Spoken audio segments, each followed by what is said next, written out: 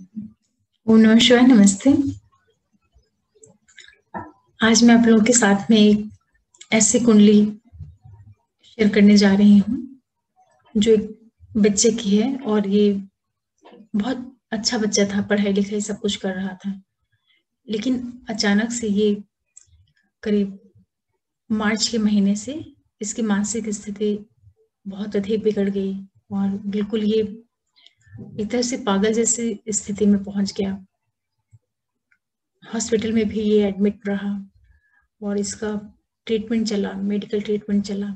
Suicide करने का भी इसने प्रयास किया। घर से ये लड़का बाहर भाग गया, रात में बिना बताए और फिर इसको कहीं भी पुलिस पकड़ के पूछते हुए फिर इसके घर लेके आई। मतलब एक अच्छा भला बच्चा जो पढ़ाई कर रहा था कॉलेज में और अचानक से ऐसी क्या स्थितियाँ बनी, कैसे ग्रह योग बने कि कोई भी व्यक्ति मानसिक रूप से इतना ज़्यादा खराब हो जाता है कि उसको समझ में ही नहीं आता कि क्या कर रहा है वो। तो चलिए इसको हॉरोस्कोप शेयर करके इसके बारे में हम आप लोगों से बात करते हैं कि क्या इसके योग थे।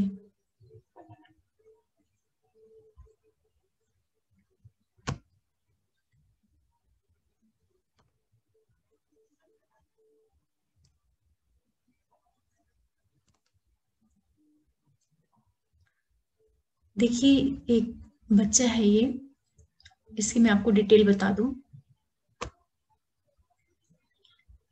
ये 26 मई 2001 का बर्थ है इसका। और ये जबलपुर में पैदा हुआ था। जबलपुर का इनका बर्थ है और जो इनके जन्म का नक्षत्र है, वो आद्रा नक्षत्र है। राहु के नक्षत्र में पैदा हुआ है। तीसरा चरण है। ये इसकी सिंपल आपको जानकारी है सिवाय ये चार्ट पे चलते हैं। अभी आप देख रहे हैं कि इसकी जो महादशा चल रही है, वो गुरु की चल रही है। गुरु की महादशा इनकी प्रेजेंट में चल रही है। और इसका लगन जो है, वो कुंभ लग्न है। लग्न का जो लॉर्ड है, वो देखिए, फोर्थ हाउस में आके बैठा है। सूर्य गुरु और शनि, तीनों यहाँ पे इनके वृषभ राशि में बैठे हुए हैं। इसके बाद इसका तीसरा भाव देखिए। सेकेंड हाउस में इसका एग्जाल्टेड शुक्र बैठा हुआ है, जो कि इसका भाग्येश है और चतुर्थेश है। चौथे भाव का स्वामी और भाग्य का स्वामी होकर के शुक्र इनके धन भाव में, कुटुंब भाव में उच्च का होके बैठा है। ये अच्छी फैमिली का लड़का है, काफ़ी बहुत इनके यहाँ प्रॉपर्टी काफ़ी है। बहुत अधिक जो लैंड होती है, वो बहुत अधिक है। और इसका जो राशि परिवर्तन भी आप देख रहे हैं तो फोर्थ और सेकंड हाउस का जो है राशि परिवर्तन इनका हुआ है। फोर्थ का जो लॉर्ड शुक्र है, वो इनके सेकंड हाउस में गया है और सेकंड का जो लॉर्ड है, वो आपके इनके फोर्थ हाउस में बैठा है।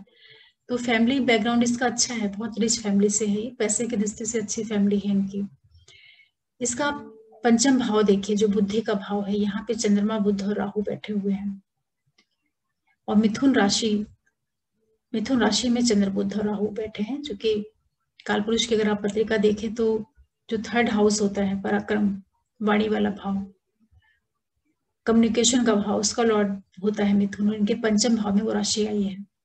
और इस राशि को आप देखिए कि इसका जो लॉर्ड है, लगन कुंडली में पंचम में ही बैठा है। और वो भी राहु के साथ में बैठा है और चंद्रमा भी यहीं पे है। तो आप ये देख पा रहे हैं कि बुद्ध जो है, वो राहु के साथ में क्या क्या इसकी स्थिति बन रही होगी? ये बच्चा मई के महीने में 2020 मई में 15-16 मई से ये हॉस्पिटल में एडमिट था सी एच एल अपोलो में, और वहाँ पे इसका मेंटल ट्रीटमेंट चल रहा था। ये ये अपने आप को खुद को डैमेज कर रहा था।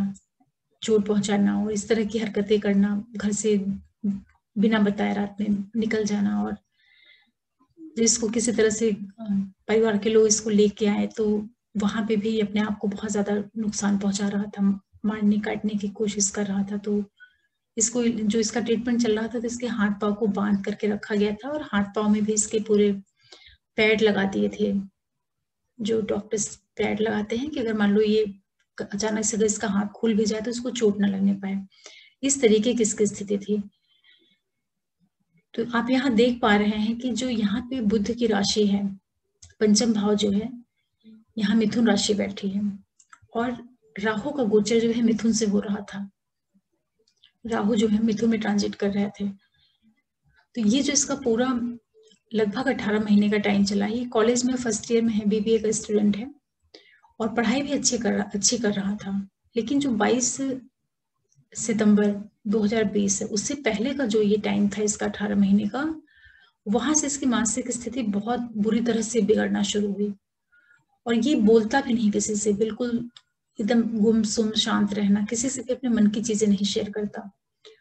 तो जैसे ही इसका राहु आया है मिथुन में, वहाँ से इसके धीरे धीरे करके मानसिक स्थिति इसकी बिगड़ना शुरू हुई।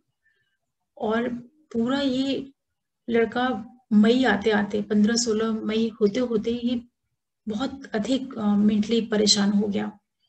क्योंकि यहाँ पे देखिए आप इसका कि चंद्रमा भी है और राहु भी है और बुद्ध भी है। इन तीनों के ऊपर से जब शुरू हुआ है राहु का गोचर तो ये मई मंथ में आते आते इसको बहुत अधिक मानसिक रूप से पीड़ित किया है। क्योंकि आप इसको देख पा रहे हैं कि जो इसका बुद्ध है बुद्ध यहाँ पर इसका दो डिग्री का है और राहु की जो डिग्री है वो चौदह डिग्री है। और इनका चंद्रमा जो है वो सोलह डिग्री का है। तो चंद्रमा और राहु में जो डिग्री का डिफरेंस है वो भी आप देखिए बहुत कम है। चौदह और सोलह, दो डिग्री का डिफरेंस है चंद्र और राहु का। और जब यहाँ पे गुरु का ट्रांजिट हुआ है सॉरी राहु का ट्रांजिट हुआ है मई में तो ये बच्चा बिल्कुल पूरी तरह जिसको पागल कह सकते हैं। मतलब इसको मेडिसिन दे दे करके टैबलेट्स और मेडिसिन के थ्रू इसको सुलाया जाता था कि ये सोएगा तो किसी तरीके से सही रहेगा। फिर इनकी महादशा देखते हैं। ये सारी चीज़ें जो इसके साथ में हुई हैं, ये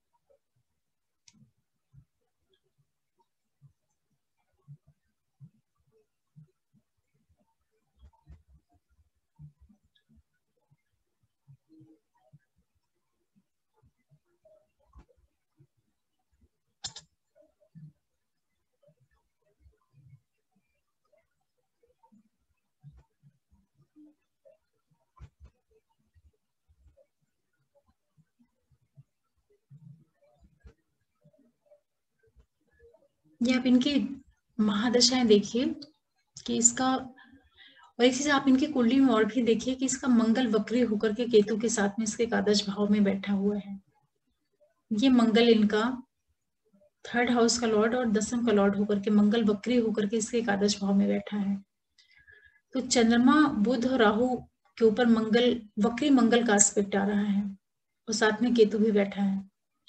और जब इसके ट्रांजिट में राहु यहाँ से मूव किया है तो इसने इसको बिल्कुल पागलपन की स्थिति दी है। तो आप इसको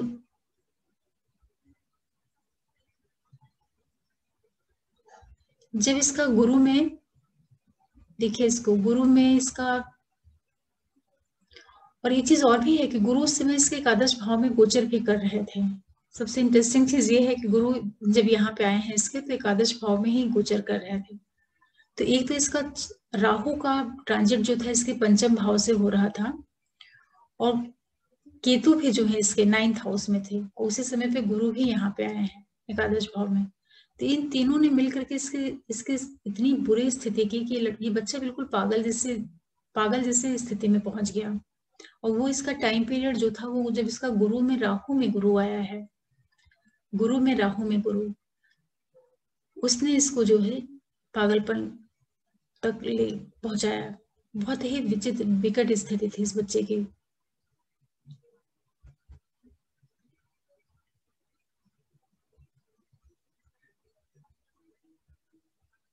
ये इसका गुरु में, राहु में, गुरु और राहु। ये पीरियड जब आया है तो ये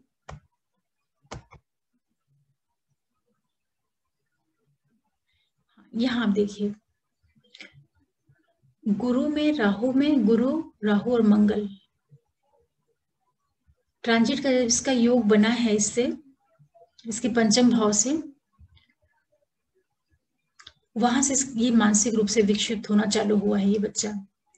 और अभी प्रेजेंटली ये जो है, इसके स्वास्थ्य में थोड़ा थोड़ा सा सुधार लाना चालू हुआ है। हालाँकि अभी घर आ गया है, वो करीब एक महीने, डेढ़ महीने के करीब ही एडमिट था। अब इस कुंडली को देख करके क्या समझ सकते हैं कि क्या, किस तरह की ये कुंडली है? क्योंकि कुछ तरह से देखा जाए, कुछ दृष्टि से कुंडली काफ़ी अच्छी भी है। धन के धन प्राप्ति की दृष्टि से अगर आप इसको देखते हैं तो ये प्रॉपर्टी वगैरह इसके पास काफ़ी है। ज़मीन, जायदाद, ये सारी चीज़ें हैं। और इसका भाग्यश भी जो है, उच्च का होकर के इसके धन भाव में गया है। तो पैतृक संपत्ति वगैरह इसके यहाँ पिता, जो इसका पिता पक्ष है हालाँकि लोग गाँव के हैं और इनके बहुत ज़मीन जायदाद है तो पैसे की दृष्टि से तो बहुत संपन्न है। लेकिन ये बच्चा अपने आप में जो है, बहुत ही, बहुत तेज दिमाग का और तेज भी ऐसा कि बहुत ज़्यादा मेंटल लेवल पे बहुत अधिक तरह तरह के थॉट है ना, इस तरीके का इसकी कुंडली है। क्योंकि चंद्रमा बुद्ध और राहु के साथ में है यहाँ पे और इलेवेंथ हाउस में इसको मंगल वक्री होकर के केतु के साथ में इस पे एस्पेक्ट डाल रहा था। तो जब तक इसका राहु का पीरियड चला है, राहु इसके 22 दिसंबर तक रहे इसके यहाँ पे, मिथुन में। जब यहाँ से राहु निकल करके वृषभ में आए हैं तो वहाँ से इसके हेल्थ में थोड़ा थोड़ा सा ठीक होना शुरू हुआ है। हालाँकि अभी पढ़ाई नहीं कर रहा हो, घर पे ही है ये बच्चा अभी। लेकिन राहु का गोचर जब फोर्थ हाउस में आया है तो इस थोड़ा ये मेंटली ठीक हुआ है। अभी ये पूरी तरीके से ठीक नहीं है। घर पे ही इसको रखा गया है। तो मुझे लगा कि ये हॉरोस्कोप आप लोगों से डिस्कस करनी चाहिए कि किस तरीके से मानसिक रूप से कोई व्यक्ति कब, कोई अच्छा व्यक्ति भी जो एकदम नॉर्मल दिख रहा हो और कब वो पागलपन जैसी स्थिति में पहुँच सकता है और ग्रहों का वहाँ पे क्या प्रभाव पड़ता है स्पेशली जो गोचर में ग्रह आते हैं। तो आप ये देख पा रहे हैं कि इनके लिए किस तरीके से स्थितियाँ निर्मित हुई जिसने इसको मानसिक रूप से बहुत ज़्यादा तकलीफ़ दी और साथ में इसकी फैमिली को भी बहुत तकलीफ़ दिया और हॉस्पिटल में होने की वजह से इनको बहुत ज़्यादा आर्थिक रूप से भी बहुत पैसे वगैरह लगाने पड़े। हालाँकि बच्चा इनका बच गया है, ये बहुत बड़ी चीज़ है। और ईश्वर चाहेंगे तो ये धीरे धीरे ठीक भी हो जाएगा। और इसके आप एक चीज़ और भी देख रहे हैं कि जो इसका पंचम भाव है, लगन का जो पंचम भाव है, जहाँ पे बुद्ध बैठा हुआ है, यही इसके, यही इसका नमाज़ कुंडली का लगन भी बन गया है। और यहाँ पर चंद्रमा इसका, जो चंद्रमा यहाँ पे आपको दिख रहा था, और बुद्ध राहु, वही चंद्रमा यहाँ शुक्र राहु के साथ में, चंद्र शुक्र राहु इसके नाइन्थ हाउस में आ गए हैं। जो इसका लगन कुंडली का लग्नेश था, लग्न भाव था, वो इसकी नौमांशा का भाग्य भाव बन गया। और चंद्रमा जो है, शनि की राशि में आ गया। तो यहाँ से भी एक इंडिकेशन मिल रहा है कि हालाँकि मिथुन का चंद्रमा था और यहाँ पे जब ये कुंभ राशि में बना तो यहाँ पे भी चंद्र शुक्र और राहु के साथ में आ गया। राहु और शुक्र के साथ में आने की वजह से इसका जो और ये काम त्रिकोण की राशि है, कुंभ राशि तो ये भी बहुत अच्छा संकेत नहीं है। ये इसको कहीं ना कहीं मानसिक रूप से बहुत एक गलत डायरेक्शन या इस तरह की दिशा में इसको ले जा सकता है। और बुद्ध इसका जो है यहाँ पे नौमांशा में तुला राशि का है। और तुला राशि भी जो है कालपुरुष की सातवीं राशि है।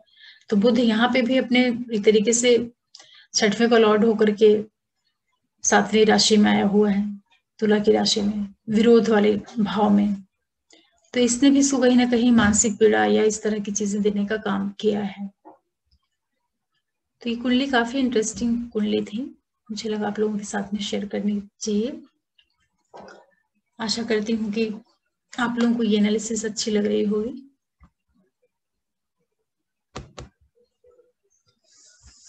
अब आप ये देख पा रहे हैं कि किस तरीके से कोई छोटा सा बच्चा 2001 का बॉर्न है, अभी 20 साल का भी नहीं है और कॉलेज में पढ़ाई कर रहा था।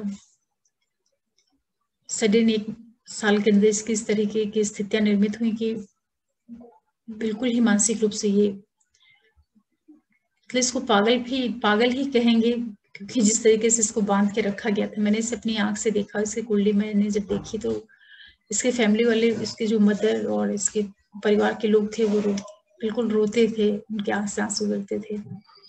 और मुझे भी बहुत तकलीफ़ हुई थी जब मैंने इस बच्चे को देखा था, कि मैंने इनको यही बताया था कि ये आगे चल करके, ये 22 सितंबर के बाद से 22 सितंबर 2020 के बाद से जो इसकी स्थिति रहेगी, उसमें थोड़ा सुधार आएगा।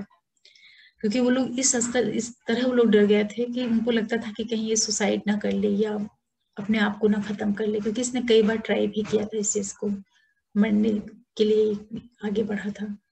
मैंने उनको बोला था कि इसको आप हमेशा इसके पास कोई रहिए और इसको पूरा केयर करिए, अकेले मत छोड़िए इस बच्चे को। तो आज कम से कम ये स्थिति है कि सरवाइव कर रहा है और परिवार में जो बहुत तकलीफ़ वाला वातावरण था, उसमें कुछ कमी आई है। तो इस तरीके से पेरेंट्स अपना असर दिखाते हैं। आशा करती हूँ आप लोगों को ये एनालिसिस अच्छी लगी होगी। और अगर आप पहली बार मेरा चैनल देख रहे हैं और आपको पसंद आ रहा है तो आप हमारे चैनल को सब्सक्राइब कर सकते हैं, लाइक कर सकते हैं, शेयर कर सकते हैं। आगे मैं आप लोगों के लिए फिर कुछ लेके आऊँगी ज्योतिष से संबंधित। तब तक के लिए नमः शिवाय, नमस्ते।